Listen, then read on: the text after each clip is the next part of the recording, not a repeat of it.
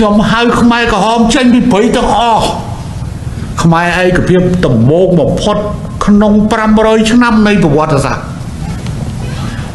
មើលក្មួយក្មួយមិនបាច់ជឿពូទេមើលមហាបរោះខ្មែរទៅ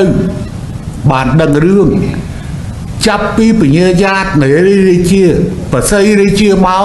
ខ្មែរបីលោត 1473បើកមើលពីតំណឹងមកតភៀកមកតាំងពីស្រីសគុណបតជាមួយនឹងលួងបត្រាច់កនប៉ពោលរឿងរ៉ាវវាមិនចេះជាប់ណាប្រទេសកម្ពុជាមួយតំបន់ត្រួតត្រាប្រមាណទៅគ្រាន់តែពី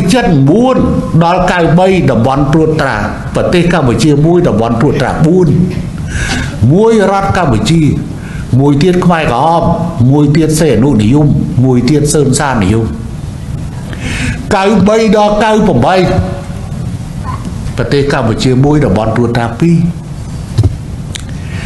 ឡូវពី98ដល់មកដល់ពេលនេះ20ឆ្នាំហើយប្រទេសកម្ពុជាមួយតំបន់ត្រួតត្រាមួយគឺឯកភាពឆ្នាំនេះធ្វើខួប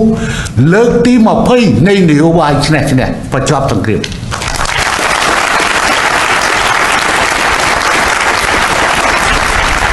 ឥឡូវអ្នកណាចង់ថាហ៊ុនសែនប្រៃការក៏ថាទៅថាហ៊ុនសែនប្រជាធិបតេយ្យក៏ថាទៅ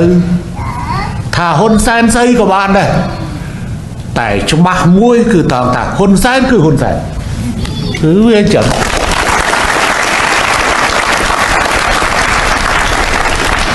ខ្ញុំអត់រលាយតាមណែឯខាទេ